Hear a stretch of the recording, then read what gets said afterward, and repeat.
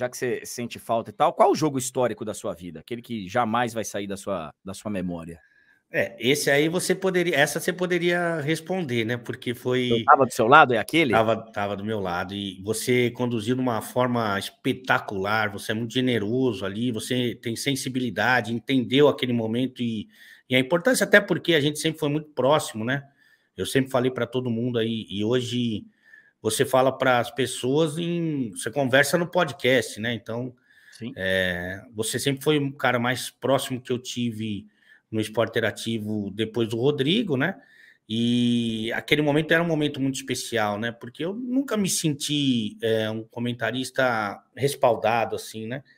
E ali é o, foi o meu troféu quando a gente foi para Turim para fazer Juventus e Atlético de Madrid. Eu senti ali pela primeira vez estava é, dando certo, sabe? Que que eu, que eu tinha conseguido chegar em algum lugar assim relevante e tal, e para mim foi uma emoção muito grande.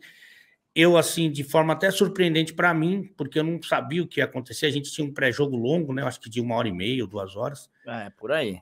E quando você me chamou, ao invés de falar do jogo, eu falei daquele momento, traduzi aquele momento numa frase e não sabia o que ia sair, não tinha planejado nada, não, só eu deixei meu coração falar, e, e ali você tem, tem uma curiosidade que aquela frase, naquele momento, que é, o vento de Deus não está lá para derrubar, e sim para colocar as coisas no lugar.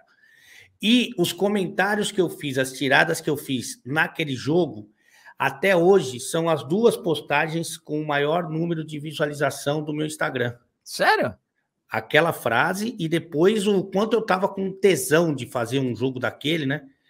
É, são as maiores visualizações da história do meu, do meu Instagram. E aquele jogo, para mim, foi muito, muito significativo, foi, foi muito relevante. E, e, eu guardo. Foi mais até do que a final que a gente fez. A gente fez de longe a final, né? É, e, e mas que foi a maior, eu não sei agora mais, né? Mas era naquele momento. Continua sendo.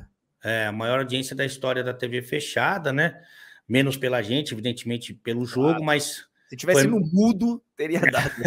é, o, é a única final que eu fiz de Liga dos Campeões, então deveria ser, mas eu esse jogo da, da Juventus e do Atlético, que inclusive foi muito bom o jogo, é o momento mais especial.